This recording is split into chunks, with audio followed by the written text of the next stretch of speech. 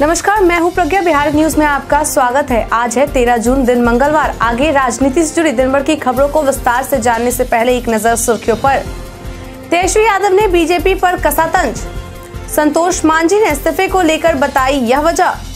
नई शिक्षक नियुक्ति, नियमावली पर सम्राट चौधरी ने बिहार सरकार को लेकर कही ये बात। नीतीश कुमार ने बिहार सरकार में मंत्री संतोष मांझी का इस्तीफा किया मंजूर।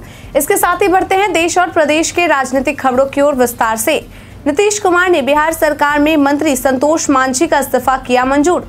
इस वक्त की सबसे बड़ी खबर सामने आई है कि जिससे महागठबंधन में अनबन की झलक साफ़ तौर पर दिखने लगी है। दरअसल जीतन राम मांझी के बेटे संतोष सुमन के मंत्री पद से इस्तीफा देने की खबर सामने आई है। मीडिया में चल रही खबरों के अनुसार बिहार सरकार में मंत्री संतोष सुमन के इस्तीफा सौंपने के बाद मंत्री विजय चौधरी उस इस्तीफे को लेकर नीतीश कुमार के आवास पर पहुँचे। बता दें कि नीतीश कुमार ने मांझी के बेटे संतोष मांझी के इस्तीफे को मंजूर कर लिया है। बिहार सरकार के इस मंत्री के इस्तीफे वाली खबर को लेकर बीजेपी नेताओं ने कही ये बात।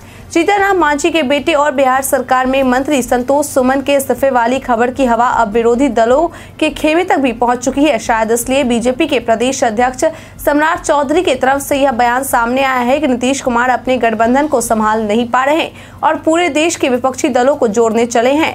वहीं बीजेपी प्रवक्ता निखिल आनंद द्वारा कहा गया कि जीताराम मांझी कोई भी फैसला बहुत ही सोच समझ कर करते हैं। उन्हें कोई भी भ्रमित नहीं कर सकता है। वे बहुत पुराने नेता हैं। आगे उन्होंने कहा कि मांझी ने जो सवाल उठाए हैं, वे भी काफ़ी गंभीर थे, लेकिन उनके गठबंधन के नेता उस पर ध्यान नहीं दे रहे थे। उन्होंने कहा कि मांझी ने दलित समाज को लेकर सरकार पर सवाल उठाए थे, लेकिन बार बार उनके सवाल उठाए जाने के बावजूद उनकी बातों को नजरअंदाज किया जा रहा था। नीतीश कुमार ने इस वजह से अपने ही मंत्री को दिया नसीहत। अक्सर नीतीश कुमार को देखा गया है कि किसी प्रकार की भी लापरवाही की खबर नीतीश कुमार तक पहुँचती है तो वे इन लापरवाहियों को लेकर अपने अधिकारियों पर बिगड़े नज़र आते हैं। एक ऐसा ही मामला फिर से सामने आया, जहाँ मुख्यमंत्री नीतीश कुमार इस बार अपने किसी अधिकारी पर नहीं, बल्कि अपने मंत्री पर ही बिगड़े दिखाई दिए। दरअसल यह मामला एक महत्वपूर्ण कार्यक्रम के दौरान का था, जहाँ सूचना एवं प्रौद्योगिकी मंत्री सुमित सिंह को नीतीश कुमार ने बार बार बात करते देख लिया। इसी दौरान नीतीश कुमार ने अपने ही मंत्री को निशाने पर लेते हुए कहा कि आप लोग आपस में ही बात करिएगा कि मेरी बात भी सुनिएगा। आप जे विभाग के सेक्रेटरी साहब सुन रहे हैं, लेकिन आप ध्यान नहीं दे रहे यह बात ठीक नहीं है। साथ ही नीतीश कुमार ने अपने ही मंत्री को नसीहत देते हुए कहा कि इस बात को समझिए और तेज़ी से काम करिए। दरभंगा एम्स प्रस्तावित ज़मीन को केंद्र के तरफ़ से खारिज करने के बाद सीएम नीतीश ने कही ये बात। अभी हाल में ही दरभंगा एम्स को लेकर बिहार सरकार के प्रस्तावित ज़मीन को केंद्र सरकार द्वारा खारिज कर दिया गया।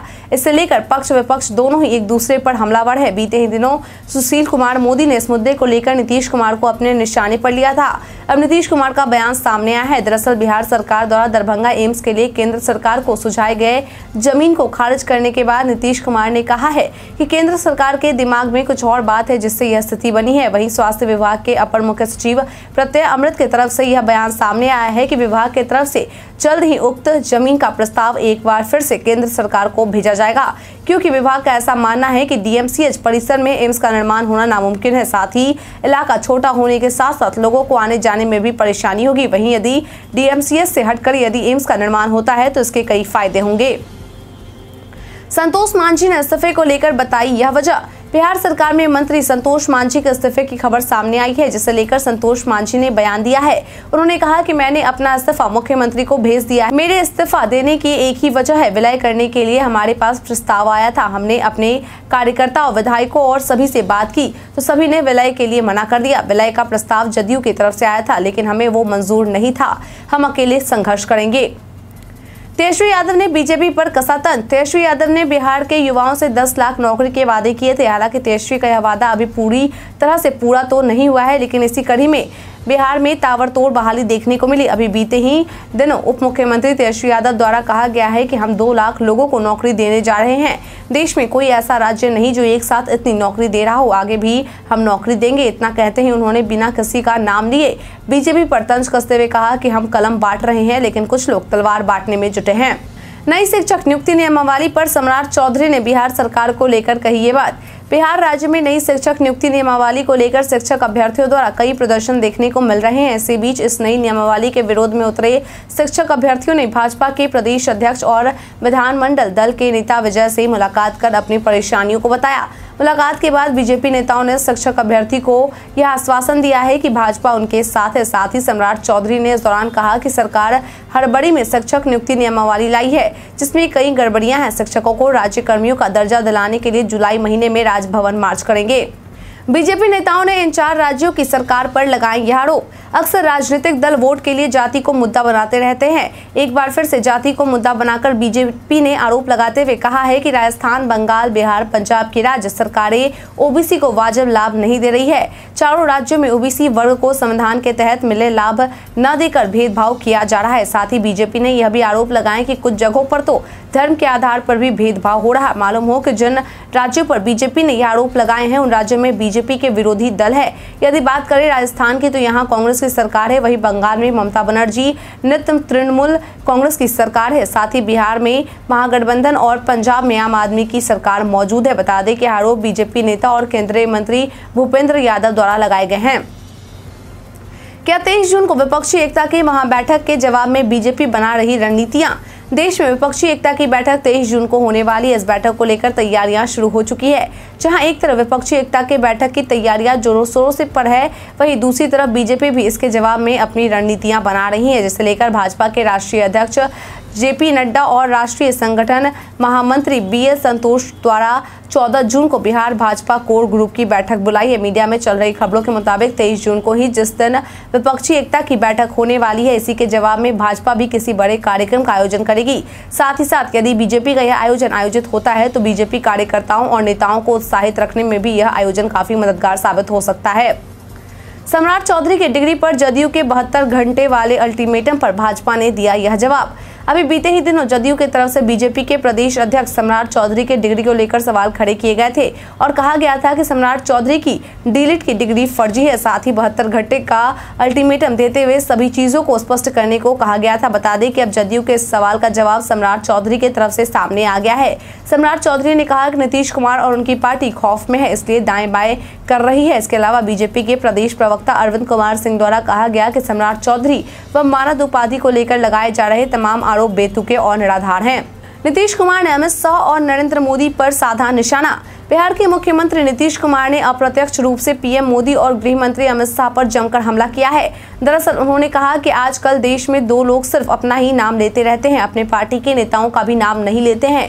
वे बापू यानी महात्मा गांधी के योगदानों को स्वीकार नहीं करते। आगे उन्होंने कहा कि यहाँ तक वे अटल बिहारी वाजपेयी जी का नाम भी नहीं लेते, जिन्होंने प्रधानमंत्री के तौर पर शानदार काम किया है। मुरली मनोहर जोशी को भी भुला दिया गया है। साथ ही नीतीश कुमार ने कहा कि पिछले नौ सालों में केंद्र सरकार ने बिहार के लिए कुछ भी नहीं किया। लेकिन हर जगह उसकी ही चर्चा होती रहती है। हमने बिहार में काफ़ी काम किए हैं, लेकिन उसकी चर्चा कोई नहीं करता है। जीतन राम मांझी ने नीतीश कुमार को लेकर कही ये बात। देश भर से विपक्षी दलों को एकजुट करने में बिहार के सीएम नीतीश कुमार लगे हुए हैं, लेकिन अपने ही महागठबंधन से उन्हें बड़ा झटका लगा है। बता दें कि हाल में ही जीतन राम मांझी ने लोकसभा के पाँच सीटों की मांग की थी, लेकिन उनकी ये मांग पूरी नहीं हो सकी।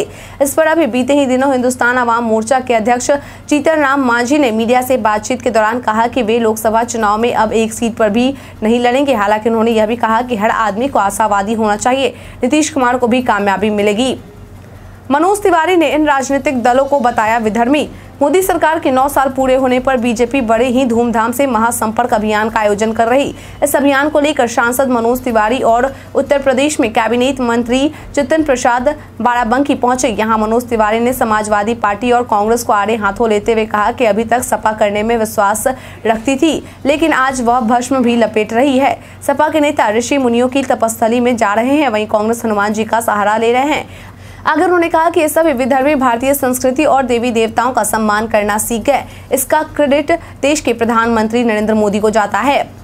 बीजेपी के इस बयान से क्या बढ़ेगी केजरीवाल की मुश्किलें? दिल्ली के प्रशासनिक अधिकारियों के ट्रांसफ़र पोस्टिंग को लेकर केंद्र सरकार द्वारा अध्यादेश लाया गया था। इस अध्यादेश के आने के बाद दिल्ली सरकार के हाथ से अधिकारियों को लेकर ये सख्तियाँ खत्म हो गई है, जिसके बाद केजरीवाल देश के कई राज्य में घूम घूम कर समर्थन जुटाने में लगे हुए हैं।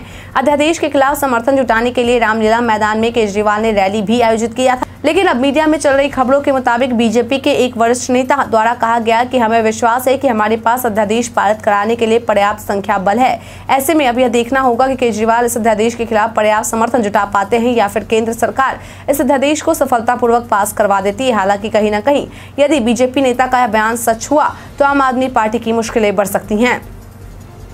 नरेंद्र मोदी ने इसे लेकर विरोधी दलों पर साधा निशाना। आज सत्तर हज़ार युवाओं को सरकारी नौकरी का नियुक्ति पत्र देश के प्रधानमंत्री नरेंद्र मोदी द्वारा सौंपा गया। नियुक्ति पत्र बांटने के साथ ही प्रधानमंत्री मोदी ने देश के युवाओं को संबोधित करते हुए पहले की व्यवस्था और आज की व्यवस्था पर चर्चा कर विरोधी दलों पर जमकर निशाना साधा।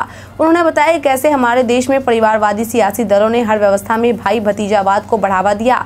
जब सरकारी नौकरी की बात आती थी तो भी ये भाई भतीजावाद और भ्रष्टाचार ही करते थे। आगे उन्होंने विरोधी दलों को अपने निशाने पर लेते हुए कहा कि देश के करोड़ों लोगों के साथ इन पार्टियों ने विश्वासघात किया है। लेकिन आज हमारी सरकार ट्रांसपेरेंसी भी लाई है और भाई भतीजावाद को भी खत्म किया है।